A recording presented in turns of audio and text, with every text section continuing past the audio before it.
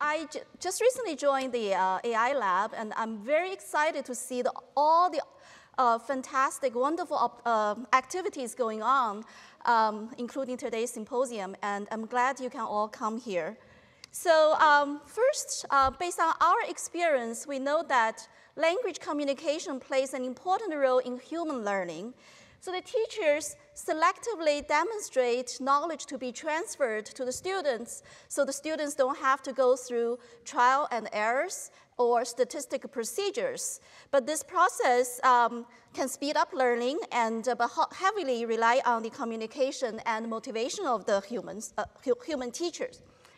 So then the, since it's so prevalent in human learning, one question we're addressing is, can we teach robots new skills or knowledge through language communication? So let's say you have a robot and you want to teach robot how to make uh, the kind of smoothie you like. So for example, you can teach robots through language uh, instructions and also demonstrate to the robot how to perform the action uh, pick up the uh, strawberry, put it on the uh, cutting board and slice into pieces, so on and so forth. And during this process, the robot can also ask questions. At the end of this interaction, uh, we would like the robot to be able to acquire uh, this kind of uh, grounded task structure. So here in the structure, it keeps the hierarchical relations between tasks and subtasks. And linguistic symbols can also ground it to the uh, physical world, so it can help robots to perceive and act.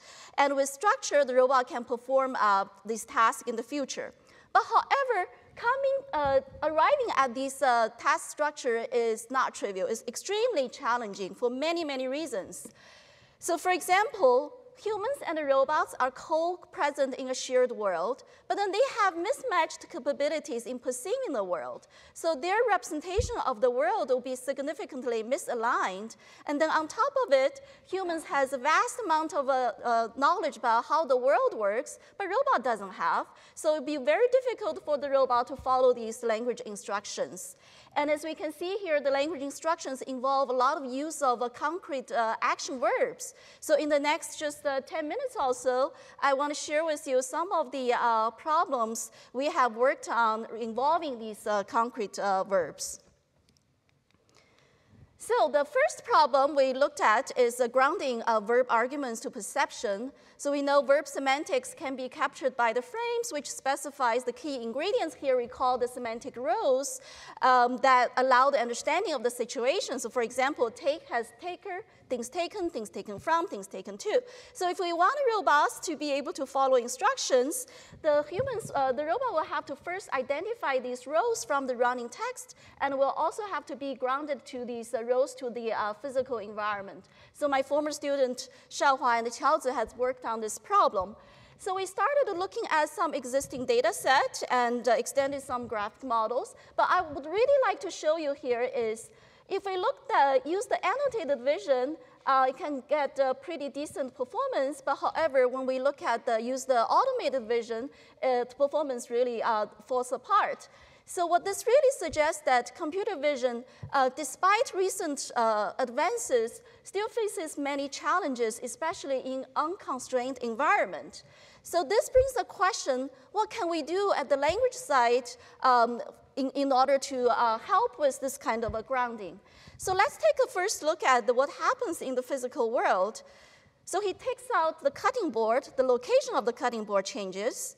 She cuts the cucumber. The cucumber changes from one big piece to uh, several smaller pieces. And in fact, linguistic studies have shown that these concrete action verbs often denote change of the state in the physical world, but then there haven't been, uh, there weren't any detailed account um, in terms of what kind of a physical state change that might, uh, might occur. So my uh, student Qiaozi and, uh, and Malcolm, they did some studies and collect some data and identified 18 dimensions of state change that might, um, might be perceived from the environment. So the idea is that if we know about these verbs, their state change, that can actually provide, hopefully can provide some higher level uh, processing guidance for visual processing. And the, uh, when we in incorporate these uh, causality knowledge into the graphic models, uh, they can in, uh, significantly improve the performance. So this is just one example about um, linking action to the uh, verbs to the perception. But then we have another question. Let's suppose the robot can perfectly, for example here, put the apple on the plate, can perfectly ground this apple on the plate to the environment. Can the robot perform the action? And the answer is not quite. So before I started working with a roboticist, I thought robots are very smart. But after that, I have to change my, uh, my thought is because, for example, this uh, industrial, uh, industrial uh, robotic arm, it only knows three primitive, primitive actions, open gripper, close gripper, and move to. So if you want the robot to put the uh, uh, apple on the plate, it will have to translate these action into a sequence of primitive actions. So as many of you probably already know that the heart of the problem is the planning. So then the question is how to link the uh, verb representation with the underlying planning system. And uh, my student, uh, uh Qiao former uh, student Lanbo She, has looked at this problem.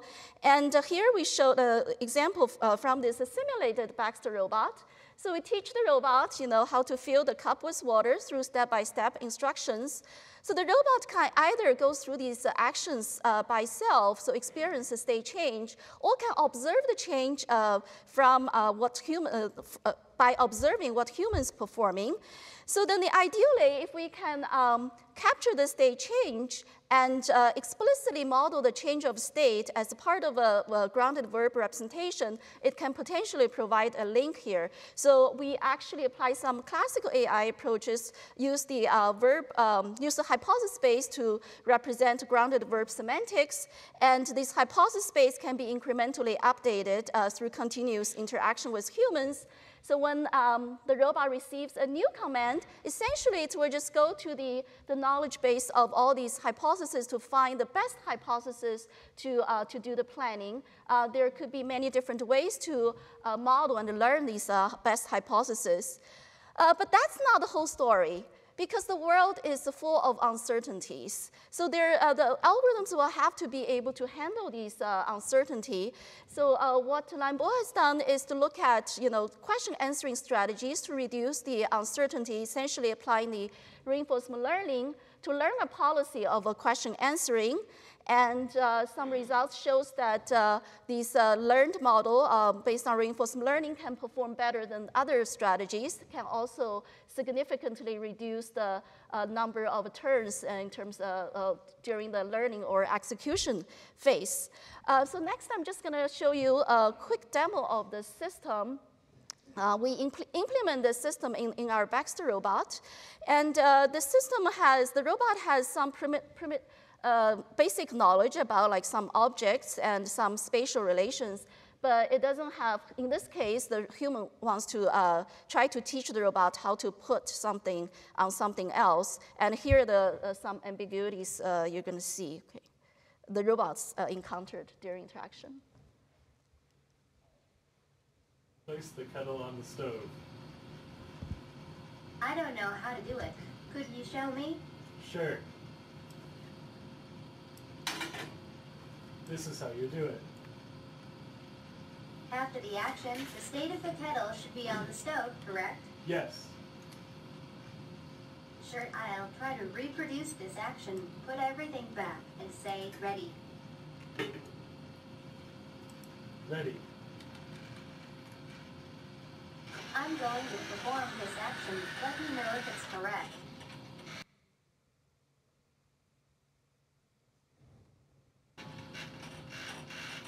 Yes, that is correct.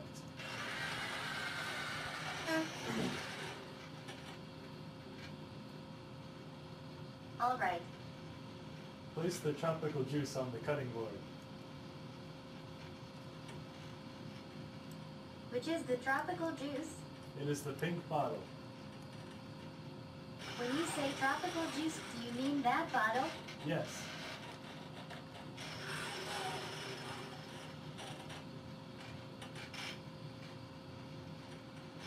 I will perform this action. Let me know if it's correct. So you, uh, you get the idea. So I just show you two examples where uh, when we model the state, uh, physical state of the world, it can Yes, help uh, linking oh, verbs to, um, to perception and also to action.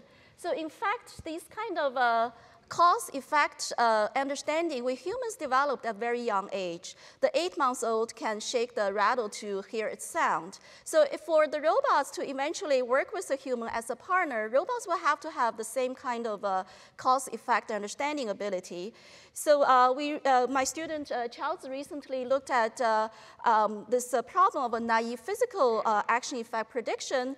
So here, given, for example, given a verb noun pair, squeeze bottle, and given a set of images that describing different states of the bottle, the goal is to be able to identify these uh, uh, states that describe the effect of this action.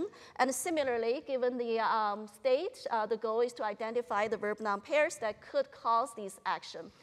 And our goal is not really trying to learn from large amount of data, but rather from small number of examples, because this would make it possible for humans to teach robots uh, during communication, in communication during uh, when the situation arises.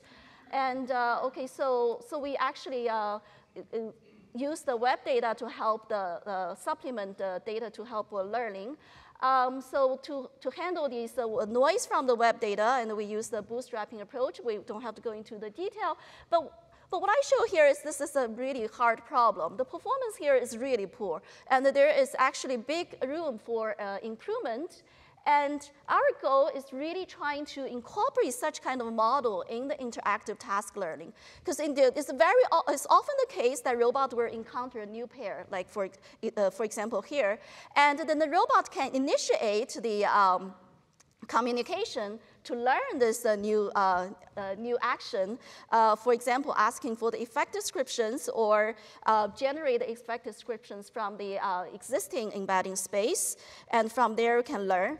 Um, so I just want to quickly show that we incorporate these ideas also into the Baxter robot um, to learn the new verb noun um, pairs. Here is a quick demo.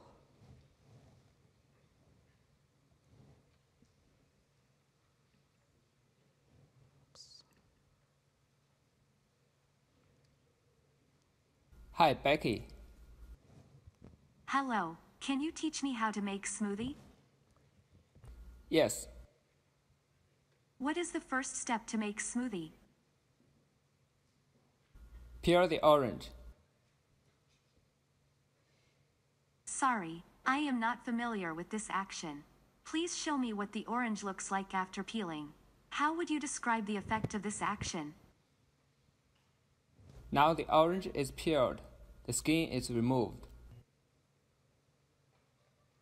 Got it. Here are some images I found. Please take a look at my screen. Which of these images show a peeled orange? The first, second, and fifth. Okay, I will learn from these images. What is next to make smoothie? Next, you put the orange into the blender. Okay, what is next to make smoothie? Next, you turn on the blender. Did you first close the blender lid? Yes, Okay, what is next to make smoothie? the task is done. Thank you for Nobody teaching wants to have this cup of smoothie yet, but you know, in the Hi, Becky. future you will.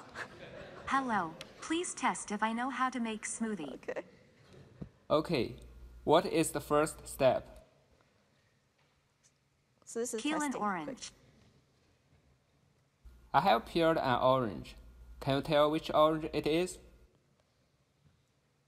This is the peeled orange.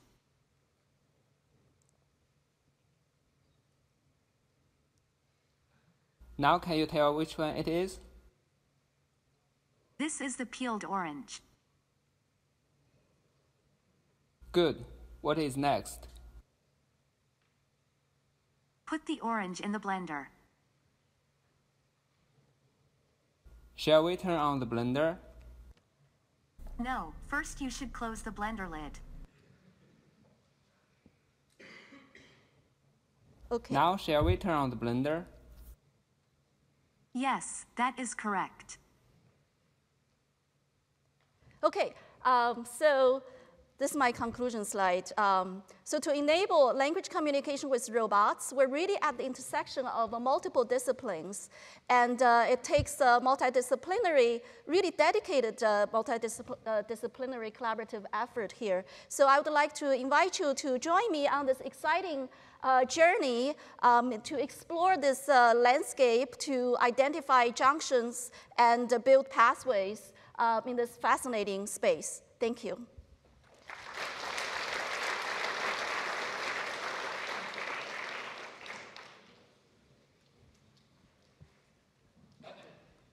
Questions?